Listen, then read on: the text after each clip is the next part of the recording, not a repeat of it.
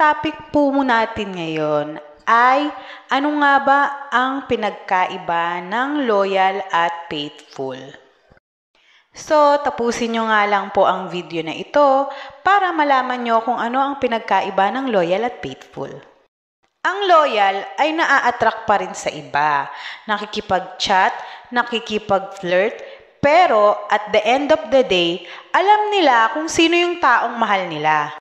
Ang faithful naman, yun yung taong hindi marurupok.